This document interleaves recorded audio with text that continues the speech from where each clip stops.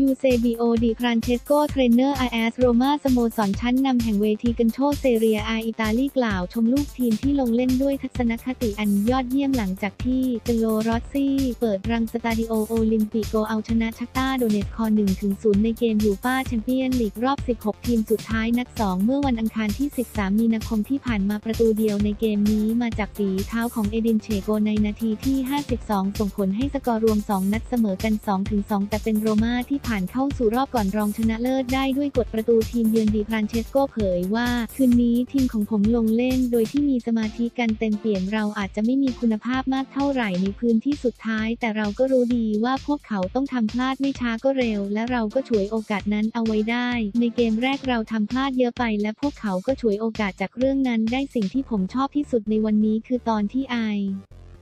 เจอกับลูกทีมของผมในห้องแต่งตัวเพราะนี่คือชัยชนะที่ได้มาจากผลงานของพวกเขาและจากกลุ่มนักเตะที่เดินหน้ามาด้วยกัน ในแง่ของทีมแล้วนั้นผมคิดว่าเราทำได้ดีขึ้นเยอะและเราก็ฝึกการเล่นลูกนิ่งมาบ้างที่จริงในครึ่งแรกเรา น่าจะตัดบอลจากจังหวะผ่านบอลของพวกเขาให้ได้มากกว่านี้ เพื่อที่ฟูลแบ็กของเราจะได้บุกขึ้นหน้าได้เหมือนกันบางทีผู้รักษาประตูของพวกเขาอาจจะได้จับบอลมากกว่าทุกคนในทีมด้วยซ้ำเพราะพวกเขาเอาแต่จ่ายบอลกลับหลัง ถ้าคุณอยากให้คะแนนเรื่องทัศนคติของพวกเขาแล้วล่ะก็ผมก็จะให้เต็ม 10 คะแนนเลย ส่วนในแง่ของเทคนิคผมอาจจะให้สัก 6.5 คะแนน แต่ในด้านของแท็กติกนะพวกเขาพยายามเล่นตามแบบที่ผมสั่งแล้ว แม้ว่าพวกเขาจะไม่ได้ทำแบบนั้นในจังหวะที่เหมาะสมสักทุกครั้งก็ตาม ซึ่งเรื่องเหล่านี้เป็นสิ่งที่ทีมจะเรียนรู้ได้เมื่อเวลามันผ่านไปสักช่วงหนึ่ง กุนซือชาวอิตาเลียนระบุ